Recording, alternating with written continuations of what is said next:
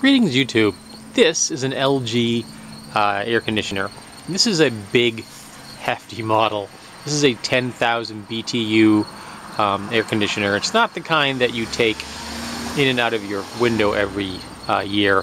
It's just too large. In fact, you install the case separately from the actual unit, and you put the unit into it after the case is installed.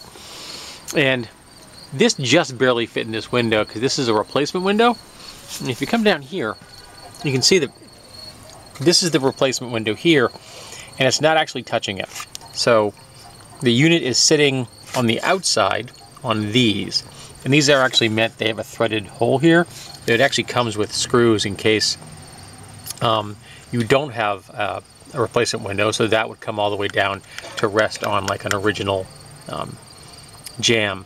Because um, they want the, the unit to be tip out slightly to the outside. It is. This this here is lower than the inside. That's what they want.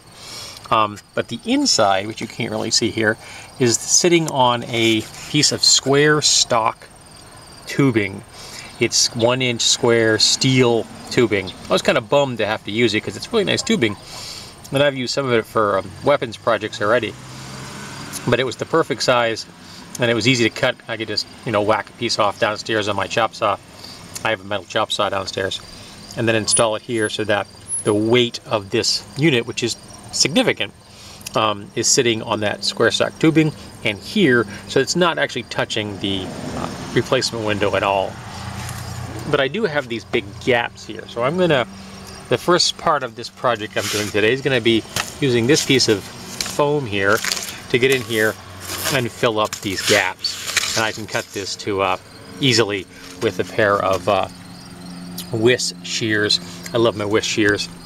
And uh, once I have that installed, the next thing I want to do, this is a little more ambitious, so I'm going to mount a piece of plywood here. It's going to start at that right there. I'm going to put a hinge on either side of this window. And the hinge is going to be what attaches the plywood to this at the top of the structure and then I'm going to put two supports on either side, probably here, um, coming up to the to the uh, plywood, because I want to keep the plywood off of the unit. But I'm going to make the plywood 36 inches long. That sounds long, because it's going to come out pretty far past this unit. But the reason I'm doing that is this is the south-facing side of my building. This thing gets direct sun all day long, all year long. I mean, not, I mean, it's got some shade from the, the bump out here, but for the bulk of the day, it gets a lot of direct sunlight. And that's not good for an AC unit that's trying to, you know, do its job. So by giving it some shade, that will help the unit uh, perform better and put less wear and tear on the motor and things like that.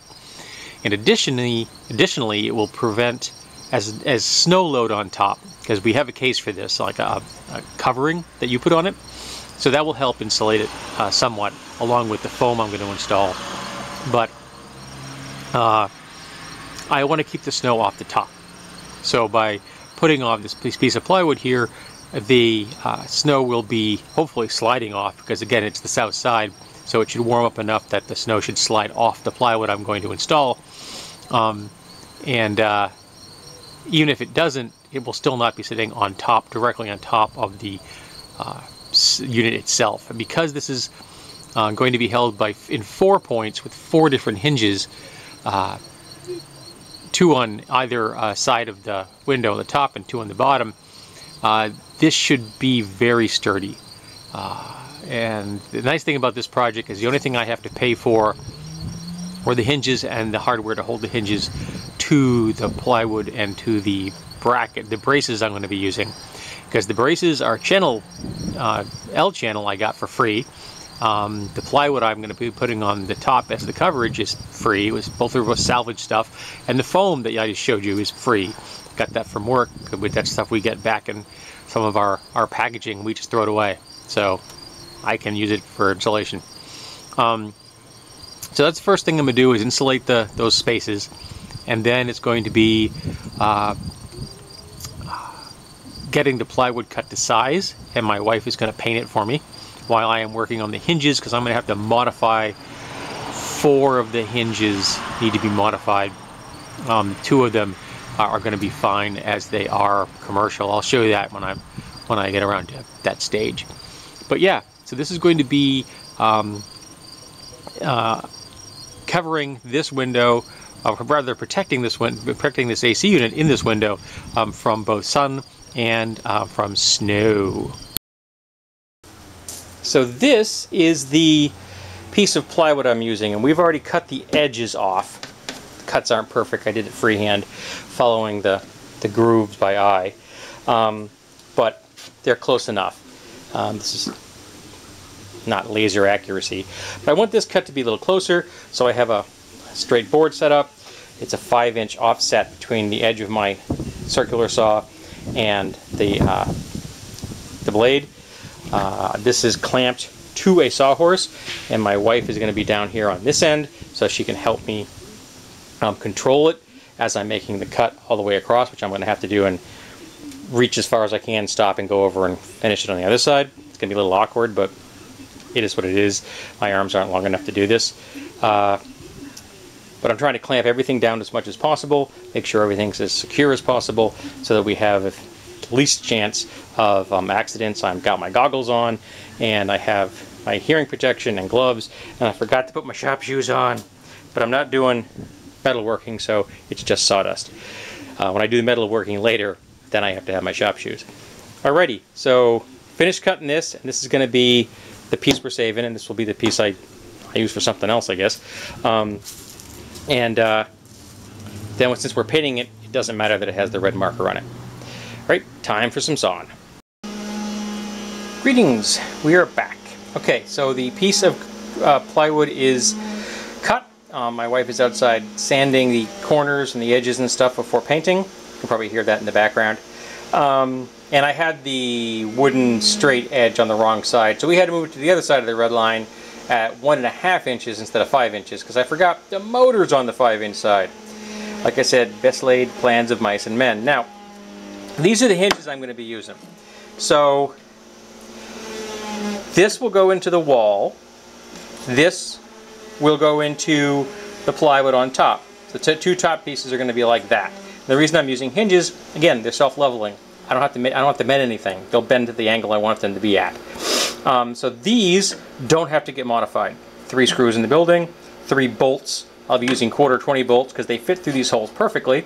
Uh, quarter 20 bolts uh, to hold the whole thing together. And I'm going to be using this stuff as my two uprights.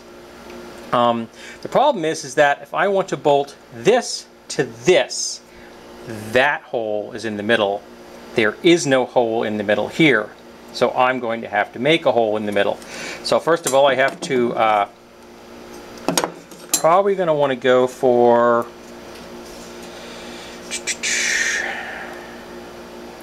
that spacing right there.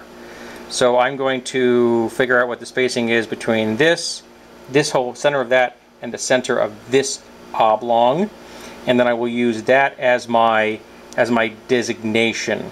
Um, or I may just figure out what, if, if these are, figure out if this is a, a, nice set even distance. If they are, I may just figure out what that is and then transfer it over here so I have some options about moving it where I want to go. Because the bolts with the washers on them will be able to uh, hold this clamp this together quite nicely. I have quarter 20 hex bolts in galvanized steel uh, which are three quarters of an inch long. The plywood's about a half inch I think or five eight, uh, or five eighths so the whole thing will be fine with 3 quarter inch bolts, um, which go for 13 cents a piece I found out today. I didn't buy a whole box. I didn't really need a hundred of them I think is what they came, came to. I only needed 20 of them. Um, so the next thing is going to drill four of these hinges, which I have here with me, figure out the distance, make the marks, drill the holes, and the holes are going to be slightly larger. I think the smallest broaching bit I have is 5 16ths. So I put a 5 16ths hole in there, and then we're good for the mounting it to the wall. Then I can take the measurements to figure out how long these need to be, because that's the that's the one thing I don't know yet. I have all the markings set on the hinges and I gotta tell you I really love this marking tool here. I've done a review on it.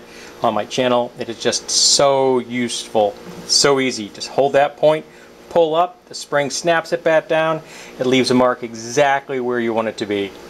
Very happy with this. I discovered that the spacing for these holes is all one and a half inches. So one and a half inches on center from hole to hole to hole. So that works perfectly. So now I should be able to set this up anywhere I want to on this um, piece of channel stock. Um, L bracket I should say. And uh, so the next thing is going to be go see if I can use my step stool to, to do this project and not my ladder because the step stool is easier to work with. And then mount two hinges to the building that don't have these holes. So the last two hinges that I didn't have to modify, they're the ones that are going to be on the top of this shield, uh, which at the moment my wife is outside painting. I've achieved an impasse. I hope I'm not covering the mic. I got these three in. This is a spacer block, so we're lifted up away from the building a little bit, kind of compensating for the thickness of this these aluminum siding, or the aluminum, the aluminum siding. Sorry about the cars, there is a street next to me. This one is into something solid. That's into something not so solid, and that's into nothing. So I need to find out, figure out what the heck is in there. Because I need these to be in further, because this is going to be holding a fair amount of weight on it when I'm done. Because that board's going to come right up here, and it ain't light. I mean, it's going to have support on the bottom as well, but I would like these to be doing something. At the minute, they are not doing anything really. Well, this one's kind of, but this one is. This one's doing its job. So I'm going to try the other side and see if that one looks any better. And this project may have to just get stalled till next week because I'm not going to the hardware store. I'm too tired to drive.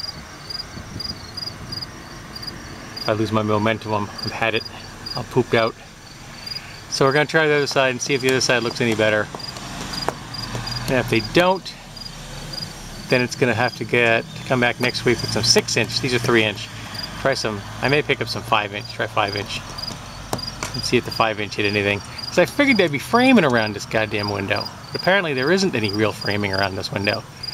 I shouldn't be shocked by that. This house was not constructed by geniuses. Same problem on this side. This one's in something. That one's kind of in something. This one's in nothing. I'm beating, I'm admitting defeat.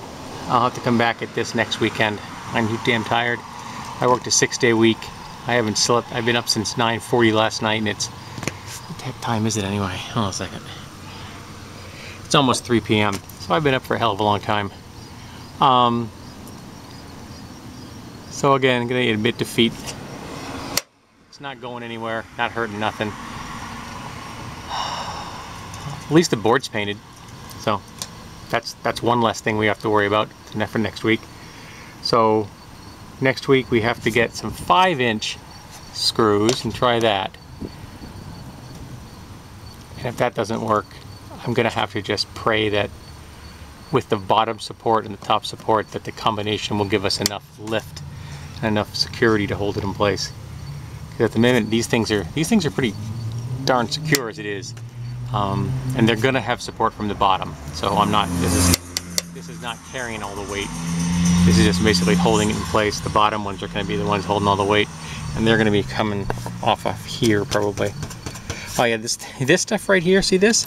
There was a gasket that came with this, and we went to put it in, and the wind caught it, and it came out and hit this, and it just dunk, dunk, and it was that was it. It was stuck. It did not come back off again. So I have to scrape that off my house. Thanks. Um, but at least I got this done. Got that at least prepped. So the holes are where I want them, and that one's the bottom one's not coming out, so it's gonna so it's gonna hold everything in place. So I don't have to monkey, monkey, um, monkey around with it next time I have at it. Just hope I can use the longer screws to find something. I don't know what the heck I'm gonna do. Maybe get some adhesive? You know, like some construction adhesive and squirt it in there along with the screws. That might help. Couldn't hurt. You know what I mean? Couldn't hurt. Alrighty, I guess we'll find that, figure this out next week. like I said, I'm too tired. So now it's time to clean the nest, clean up the tools, put everything away.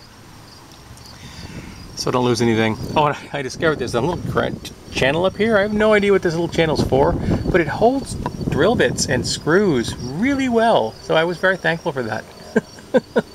Not its intended purpose, I'm sure. I have no idea what its intended purpose is, but it, it was excellent for holding screws and drill bits. Oh yes, and there's my Makita drill. I'm a big Makita fan.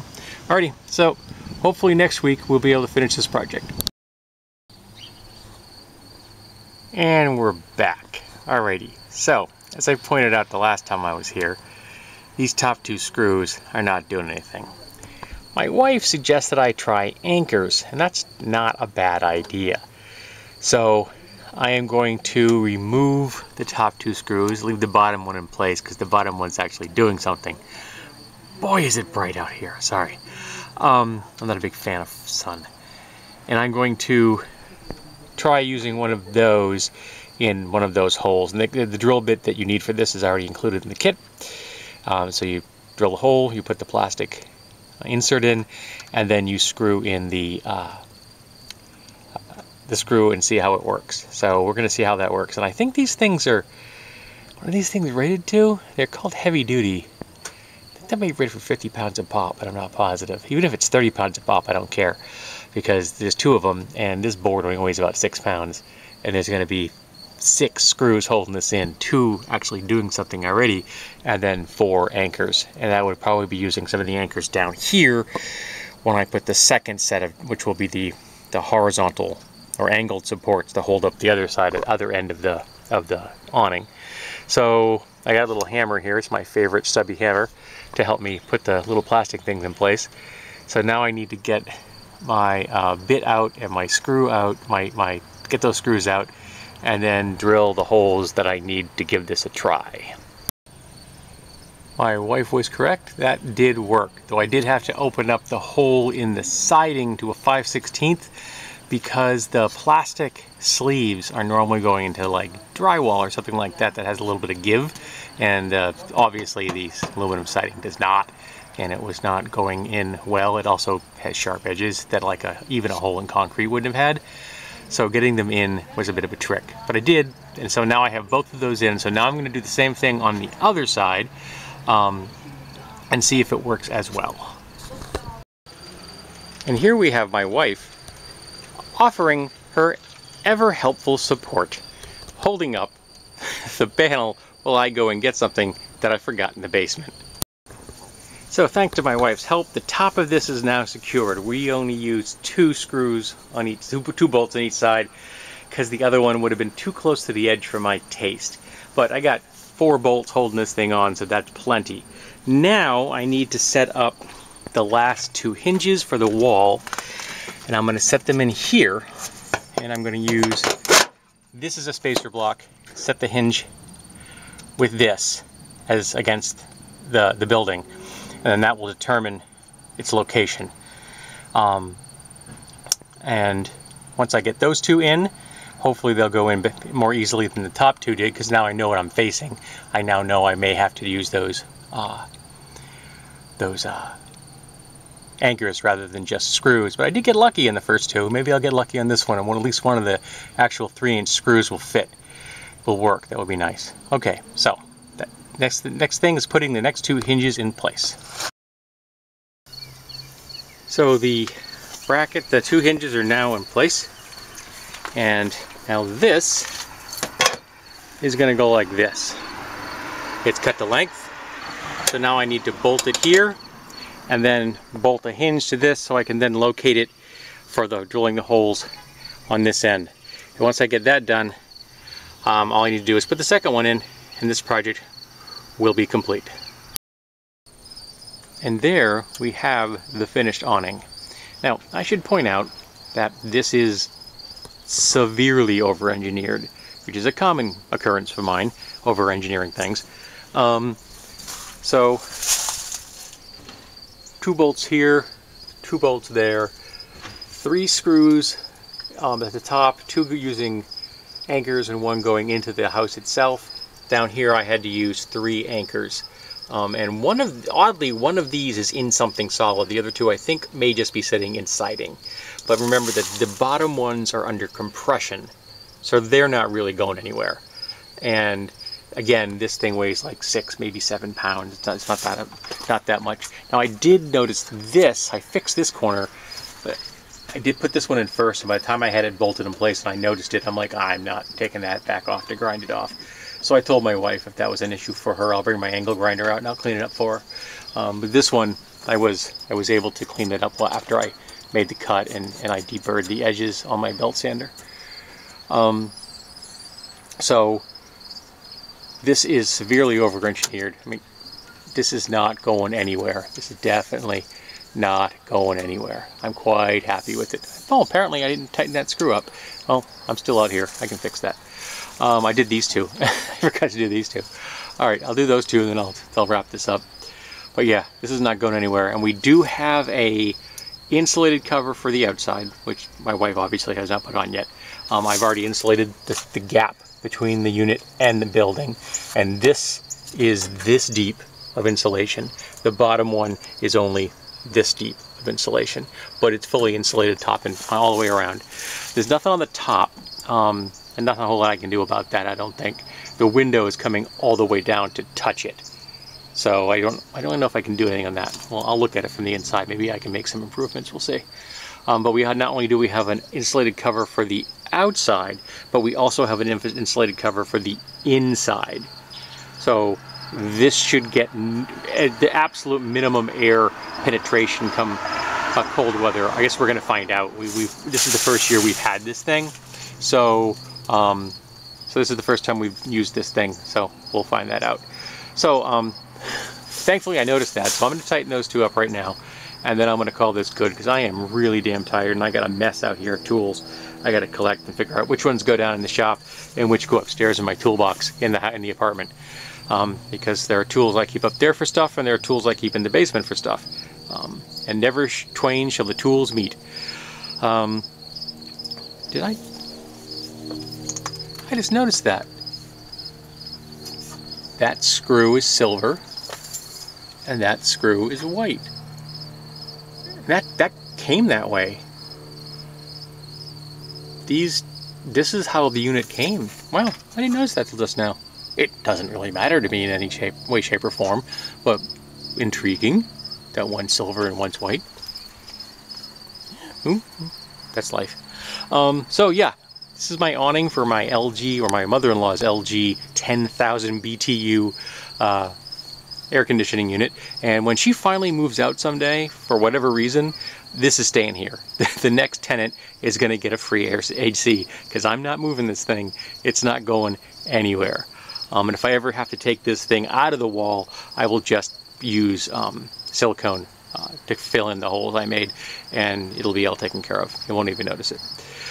Alrighty, so I hope that you found this interesting and you've enjoyed my severely over-engineered but very cheap um, level of security for my AC unit because the the plywood was free, the two brackets, the two bracket support brackets I used, the two angle irons right there, those were free. So all I had to do was pay for the, the hinges and the fasteners. And I already had the anchors. So this is a low cost.